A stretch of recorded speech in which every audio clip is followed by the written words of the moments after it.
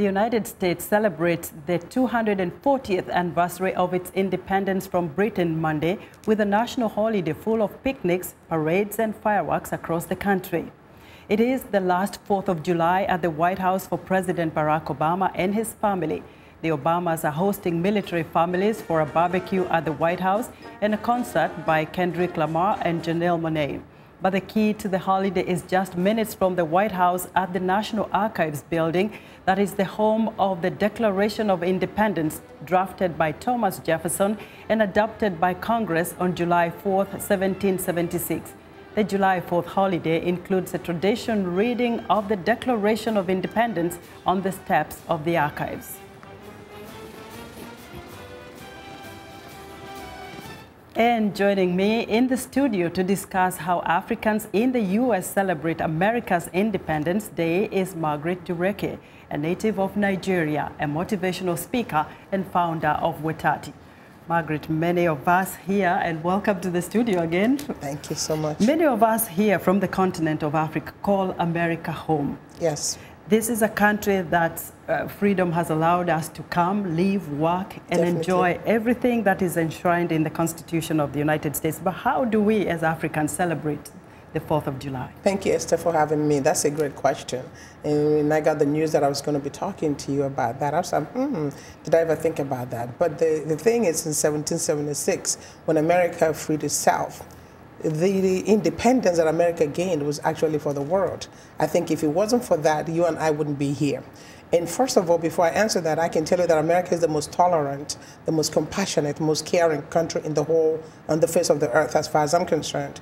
And if it wasn't for that, Africans wouldn't even be here, yourself and myself included.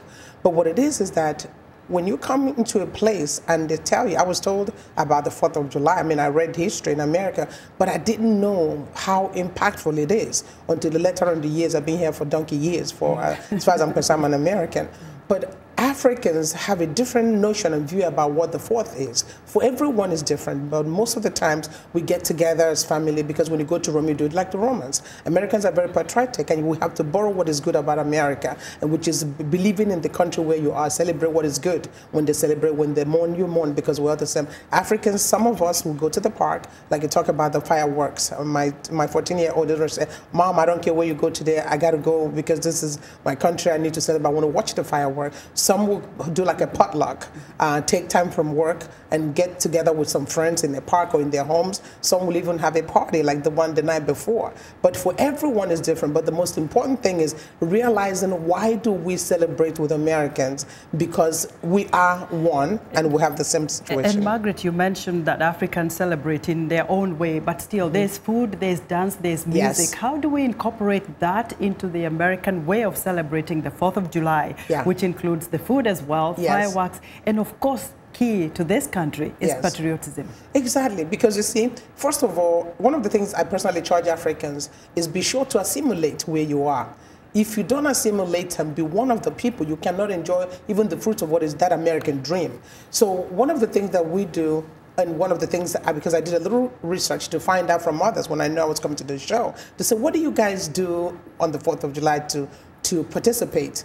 And that sense of patriotism, they said, when they come and mingle with Americans, they now learned importance more than ever before than doing it in isolation. Most of them normally would get stuck at work. They, it didn't mean anything to them. But as we began to talk about it with one another in the community, so different communities now come together, go with their American friends who tell them where to go, what to do, what that means. That patriotism is one thing that sets America apart from most countries, and we're borrowing into it, and it's a good thing. Margaret, this is the last uh, 4th of July for President Barack Obama at the White House, and Africans see him as mm their own son. Mm. What uh, will Africans miss most about his presidency? Yeah, don't make me cry. I think that um, uh, for everything, there's a season, a time to come and a time to go. He has done the best that he could with what is given, and I thank America for doing that. That's the point.